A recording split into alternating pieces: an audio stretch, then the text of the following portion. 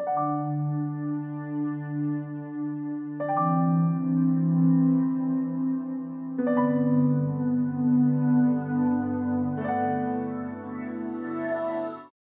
I'm Llewellyn King, the host of MECFS Alert.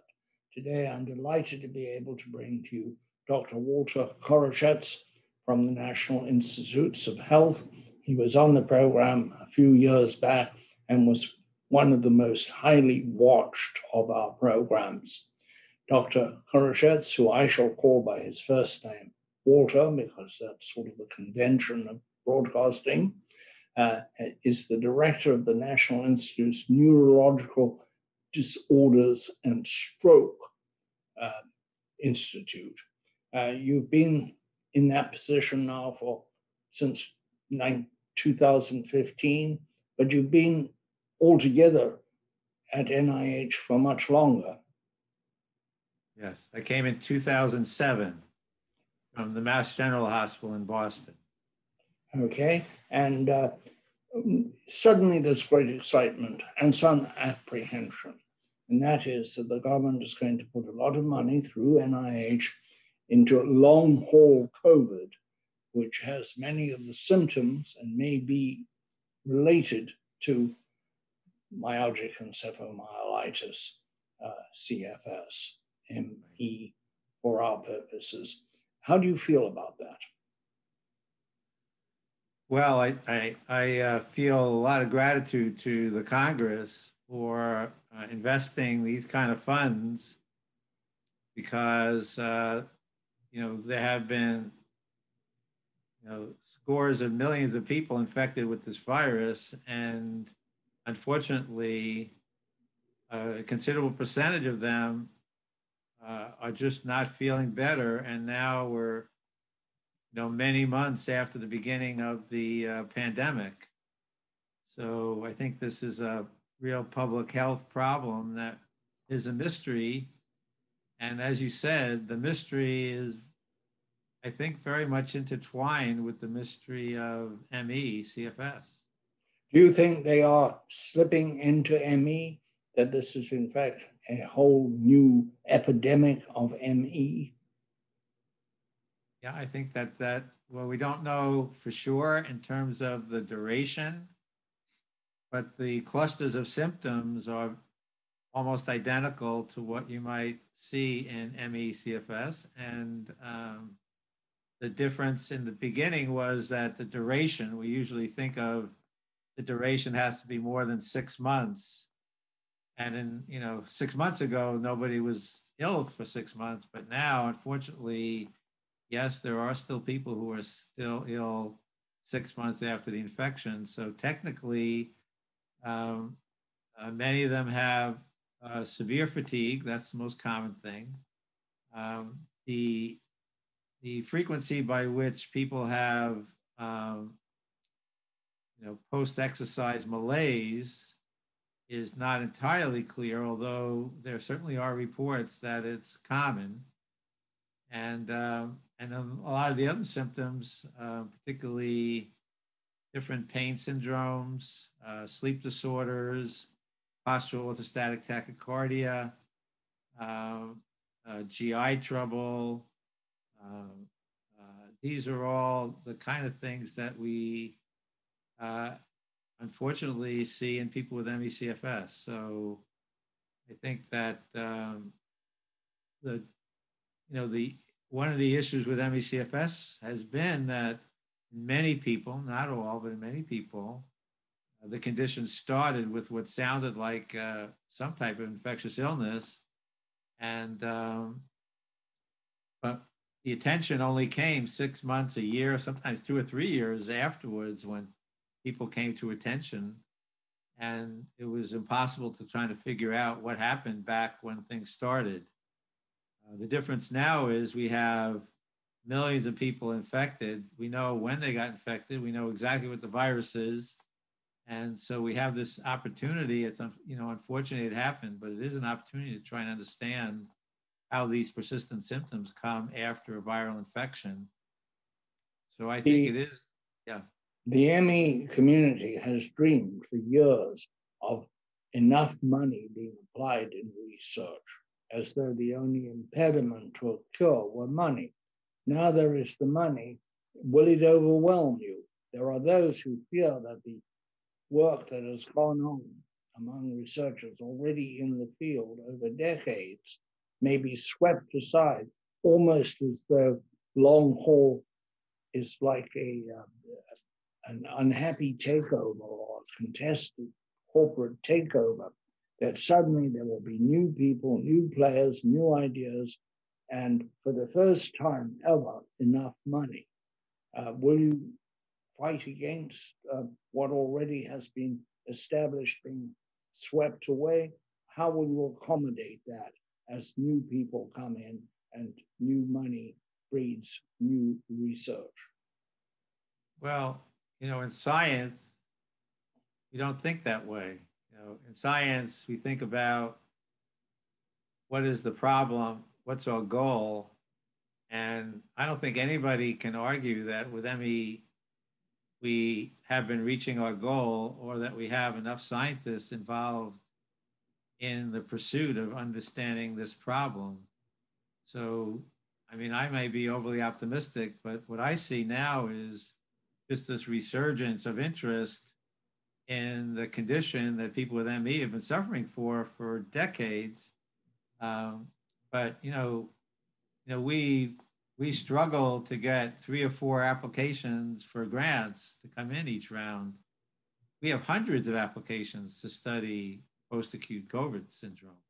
And that, why do you think that is? Because in the community, and I'm, I can't speak for the community, but I interview people in it regularly, uh, there is a feeling that there are lots of ideas, applications, and that they're given, often given short shrift and that good ideas are not pursued for budgetary reasons. You're saying that there is a shortage of good ideas as well as budget. Oh, yeah. No, I would say, you know, in terms of budget, NIH will fund all the good ideas um, that get, you know, they get that peer review system. I don't think budget is the holdup. I think it's been the lack of you know, I mean, people can't even find the doctors to take care of them, uh, let alone the scientists to do the research. But now you have post-COVID clinics all over the country popping up, and they're going to now doctors are taking care of the symptoms that people with ME have been experienced for decades. I'm also hoping that that will actually open up doors that people with non-COVID related ME can pass through as well. So I see it more on the bright side where the research opens up this question, which has been in front of the ME community forever. And now we have, you know, over $1.15 billion to explore it. And we have, I mean, I, I don't know what the number is, but I'm guessing that we probably have 1,500 investigators coming in uh, in part of these teams and it'll be very organized. And if there's a chance that we're going to get to the bottom of ME, I think this is our chance. This is. How are you going to, how you said they will be very well organized. That's really up to NIH, isn't it? To do the organizing, up to yourself and others. Right. So this is going to be a very organized uh, effort. You know, in ME, we had we established a consortium of of investigators.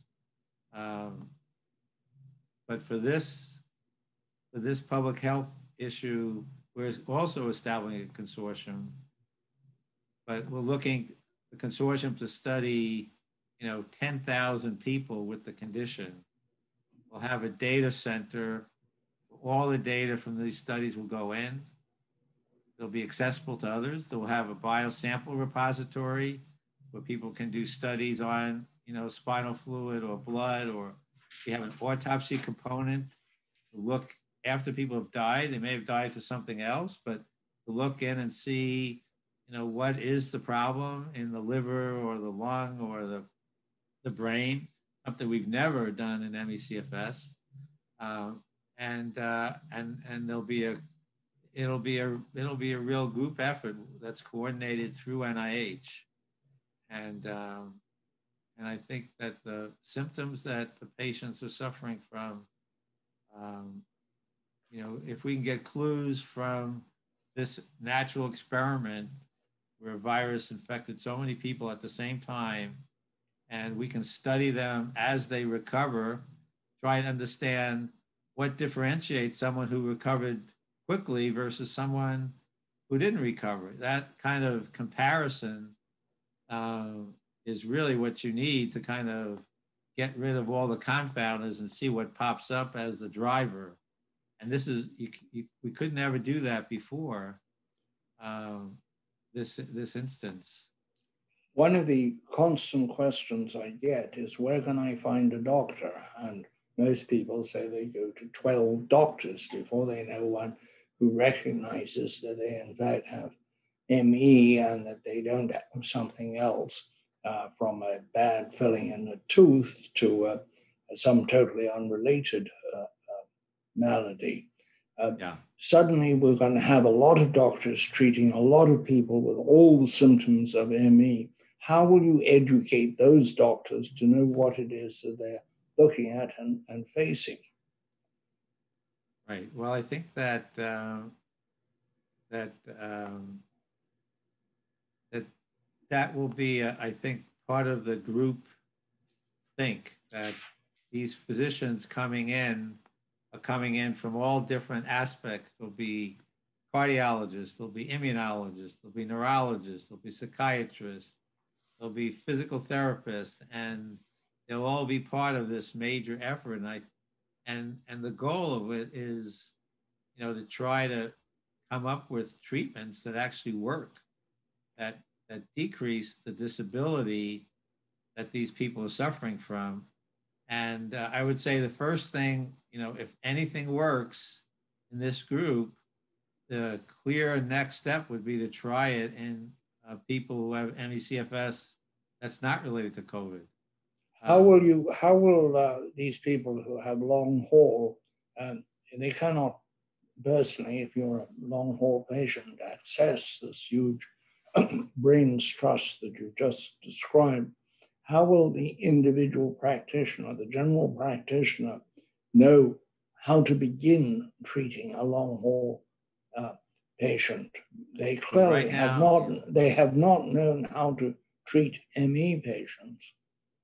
That's correct. So, the, so that's actually the truth that that this is. People are learning on the fly. People who are running these clinics are oftentimes intensivists. They were set up for people coming out of intensive care unit, but now most of the patients are people who actually never in the hospital. So, and and there are no guidelines on how to treat people. So this is going to be a learning experience. This is a learning experience. I mean, the same thing happened with the acute infection. Uh, we had to learn how to treat the acute infection. Now we have to learn how to treat the residual symptoms. And but I think that that that learning, I am very hopeful that that can can help uh, with the treatment of people with ME/CFS. Not only will we have hopefully better data on what works, but we also have more physicians who have been, you know, responsive to these kind of symptoms that people with ME/CFS suffer from and have not received the kind of attention they need. So, so for the traditional ME patient, this is a, a dawn of hope. Well, I hate to say it because it's a terrible epidemic and many people, you know, have died but I, as I said before, I think that this is just a unique opportunity in time to kind of have a breakthrough. I, am very, you know, if I, well, I'd say I'm very hopeful we get a breakthrough. If if we don't get a breakthrough in this effort, then I'm going to be very pessimistic. Um, I think this is our this is our chance. There are a number of FDA approved uh, uh, medicines compounds, uh, therapies uh, that are being used to treat ME patients. None of them is a magic bullet, none of them, but all of them have some application, and some patients are helped somewhat by some therapies. Uh, are you going to try to extend that? And how are you going to get these into clinical trials to establish a baseline? Well, uh, our hope with the effort that we have now is that we'll begin by characterizing the patients, trying to understand the biological basis for their symptoms, and then quickly come to some type of treatment trials and and we have you know unfortunately we have captured tens of thousands of people now who can be enrolled. And so i think we can be very efficient in jumping right? It's hard to go right now because we really don't understand the condition. But we're hopeful that that we can get some knowledge quickly that will move into trials. And particularly because we think that for most conditions your best chance of helping someone is going to be early on. Once the symptoms have been on in place as we know for me-cfs five to ten years it's going to be very difficult so we really do want to push the trials to, to start as soon as possible so we can actually help people um, you've been at this a while now, as we said at the beginning. Um, leaving aside long haul, during this period, what has it been like working on ME/CFS? Has it been very frustrating or has it been um, interesting? As a physician, uh. how have you reacted to your experience overlooking ME/CFS research? Yeah, well, you know, I think uh, I come to the job having taken care of some pretty bad conditions. So I was a Huntington's disease expert, and um, all the patients died. Uh, and know, we had this ray of hope that when we found the gene, that we were going to have a treatment in five years, and now it's 30 years and we don't have any treatment. So I'm used to I'm used to battles. We don't give up you know. Um, I worked in stroke, and in stroke, you know, when I first started, it was total therapeutic nihilism. No one wanted to take care of stroke patients. And now that's completely different because we were able to develop some very, some very effective acute treatments and save lives and prevent total wreck of disability. So, so I've seen both sides, and I think you know the answer is persistence and luck. You you know you have to keep. We will eventually figure things out, and you'd like to do it so much faster than is happening. Um, but I have seen in many different diseases, you know, not all. It's a small percentage, but some miracles. You know, spinal muscular atrophy is a disease that kills infants, and now with the new treatments, they're living and they're walking and they're they used to be on respirators and now they're breathing. So, you know, I, I can tell you that in, in this field, good things will happen, but I can't predict when or where they're going to happen. So you have to keep being persistent. You have to be clever. You have to, you know, take in the knowledge from all different areas of science the breakthrough for ME/CFS is unlikely to come from people studying ME/CFS. It's more likely to come from somebody studying something else, like fatigue and cancer or multiple sclerosis. So, um, so you, that's to, that's very interesting and very encouraging to hear you say that because that is often the story of any kind of discovery or invention. It's right. not the it's not the thing you're looking for. It's something uh, collateral. It's not under the light, the light bulb. What is the, uh, you have uh, what are called uh, RFAs, is that correct? Request for application. Uh, um, have these gone out? Are there a lot of RFAs out? Uh, yes, there are actually all the all the applications are in now. Um, and we are reviewing them and we hope to be able to start funding things within a couple of weeks. So things move very quickly because we were given this kind of emergency powers to move fast. Well, sometimes things really can. The way, the speed with which the uh, pharmaceutical companies have produced vaccines is extraordinary, to my mind, uh, for the pandemic, for COVID 19. Uh, do you expect that we might see the same kind of concerted surge and quick result, possibly with long haul? Well, I think that, that that's what we're hoping, yes, that um, we need to move quickly. We want to be able to study people who uh, have COVID and see how they recover.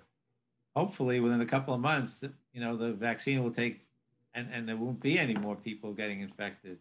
So, so we really need to move quickly to study that process of recovery after infection, and um, and you know you don't know you know what you're going to find. No one's done this before.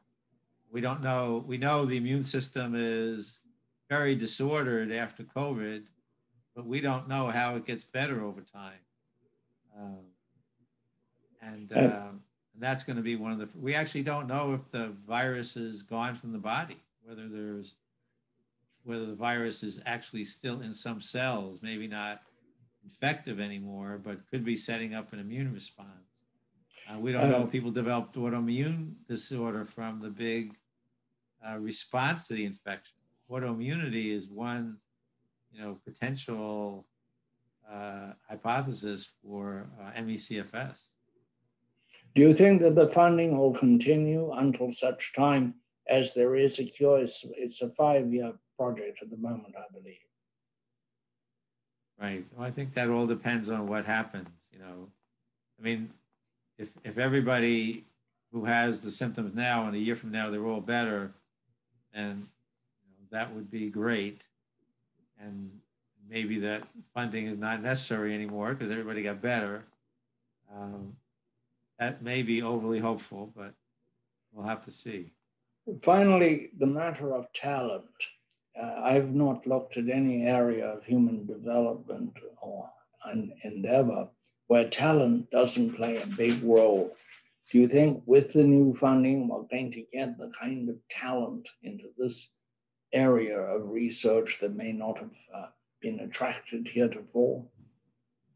Well, I know that's already happened. Yes, that. So I can tell you that there are incredibly talented people that I know, you know, in the neurology space, um, who are, are, now working on this problem um, that never did so before.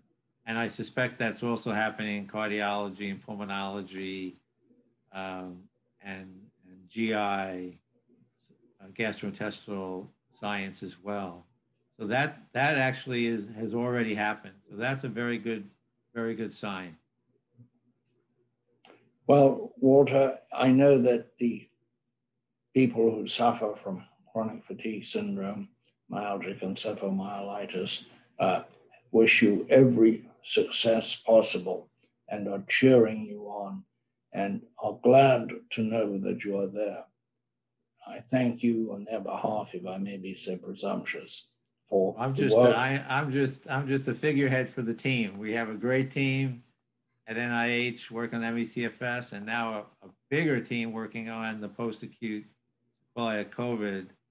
So yeah, all hats off to a lot of lot of hard work that a lot of people are doing, and also the patients who take part in research. It's not easy you're feeling crummy to come in and be prodded and exercised and you know blood drawn so hats off to the patients too subjects in these research programs uh, I, will ask you uh, an additional question if i might we are in a period where we're seeing some relationship between biology and physics biology and mechanical systems um, do you think that has any application, particularly the, the, the use of physics in medicine and physics possibly here?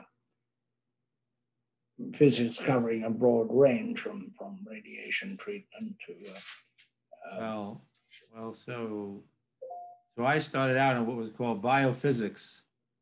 Oh. Um, and so, yeah, the, the brain and the nervous system is is working on physical principles, um, and um, and that's been true a long time. um, uh, particularly what we call electrophysiology. That's how the nerves, they're basically generating electrical impulses which go between these 85 billion neurons with trillions of connections. And I guess the main point to make to you is that um, that it's I would say it's it's physics, but it's it's computational physics. So the the real advances in brain science have come from the fact that we can now look at how the networks of the brain function um, and they function with you know millions of neurons firing in certain patterns. I'm just getting at this now, but I've been pushing people for years, and I haven't gotten any good takers yet to kind of apply these technologies to try and understand where in the brain is the fatigue circuit. So we all know that you know at the end of the day, I'm just can't do it anymore. I need a rest, or if I get an infection, I just can't concentrate um, and and so where in the brain is that decision being made? That I think is I, I'm very suspicious that there's a brain circuit that's responsible for that and that it's affected by all sorts of things, cytokines, inflammatory soup, uh, previous exercise, um, and um, and I think that that someday somebody's going to get and isolate that circuit. And I think that's going to be incredibly valuable. Thank you, Walter, so much for joining us on MECFS Alert. And great good luck to you in your research. Thank you very much. Really appreciate it. Thank you for doing this, Will. We appreciate it. Thank you very much.